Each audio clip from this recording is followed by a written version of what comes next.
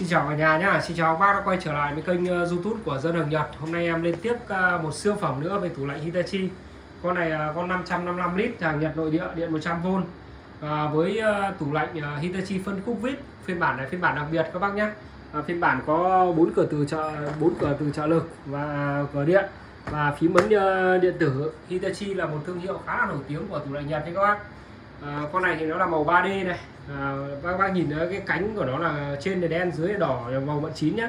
À, ngoài ra thì tủ này có nó là mặt kính gương chống xước chống vỡ chống va đập. Đấy các bác yên tâm sử dụng. Đây em đi vào cái khoang mát nó đi.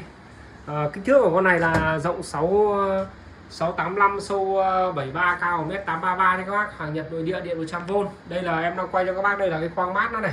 Khoang mát này mình để các cái đồ như bia rượu thực phẩm chín đồ nước ăn thừa và các chai lọ nhỏ ở đây. Đấy, chai lọ nhỏ hai bên cánh này. Thì, à, trên khoang mát này à, Hitachi được thiết kế thêm à, cái ngăn chân không này có chữ Platitaum nó giúp cho bảo quản lâu hơn ngoài ra nó kèm đông mềm. Và bình nước làm đá viên đá rơi nhé các bác nước cho nước vào đây thì đá tự động nó sẽ rơi đến đây. Và bên cạnh cái đá rơi thì mình ngăn này là ngăn dự trữ đá là ngăn cấp đông nhé các bác.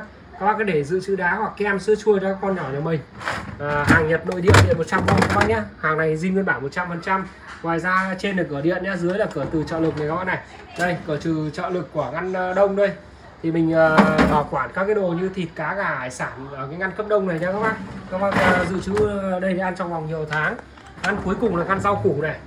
Ngăn rau củ này mình để các cái đồ như là rau củ quả và các cái chai lọ nhỏ đồ khô.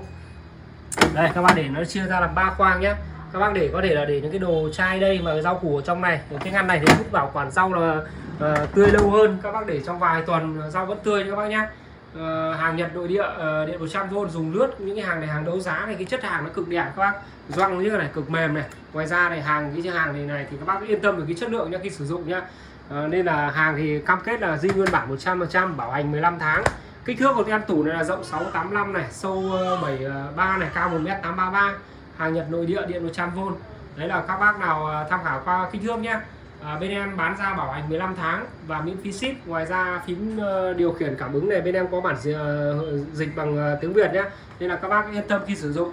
Hàng thì bên em miễn phí ship vào 100 cây. Các bác nào ở Hà Nội thì có thể qua chỗ địa chỉ là số 68C ngõ 87 Láng Hạ Hà Nội xem hàng các bác nào ở xa thì có thể là nhắn tin cho em qua số là 0937 445 330 em dân hàng Nhật ờ, nội địa ờ, có khá nhiều các mặt hàng cho các bác lựa chọn nhé tủ lạnh thì ờ, Hitachi này.